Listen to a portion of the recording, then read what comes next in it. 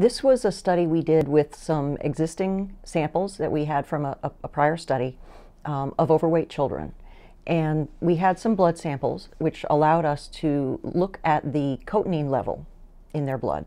This is an objective way to assess whether they've been uh, exposed to secondhand smoke. And a high level of cotinine in the blood indicates a person who's actively smoking. We didn't see any like that, fortunately, because these are young kids. But we did find that a, a substantial proportion of them apparently had been exposed to secondhand smoke.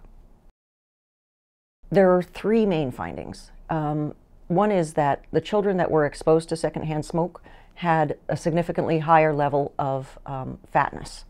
So they're all overweight, but the children who were exposed had larger waists, um, a higher percentage of fat in their body, and a higher um, weight to height ratio, what we call BMI.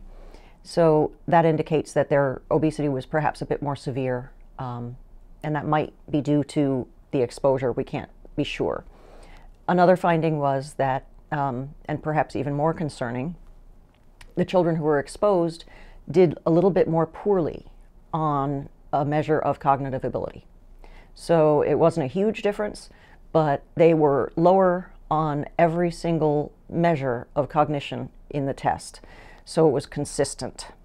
Um, and so that, that's concerning because that means it's possible that the secondhand smoke exposure is actually impacting their ability to do well in school. The third finding was in a previous study, secondhand smoke exposure had been linked with diabetes risk. And um, of course, children now are, are, coming down with type 2 diabetes. We used to call adult onset diabetes. We can't call it that anymore. Um, and I'm quite concerned about that, which is why I study overweight, overweight kids.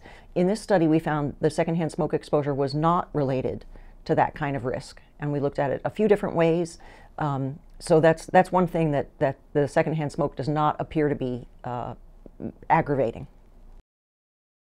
I guess it was the amount of children that were exposed and the relatively poor correspondence of the objective measure with the parental report of who is there a smoker in the household. Now, it may be that they're exposed to smoke outside the home, um, or it may be that the parent is simply not aware of the exposure that's occurring. So I was I was a little bit surprised by that, and I'm of course more confident about the findings given that it is an objective measure rather than um, simply a self-report. I think Dr. Tingen said it best. Everything obesity does to you that's bad, secondhand smoke exposure makes worse. Children need fresh air, and when they go outside, they also get more physically active. So, besides having better things to breathe, because um, indoor air is very polluted actually, even without smoke, um, go outside and, and move around a bit and get to, get to see some flowers and birds, and you know, might be good for them.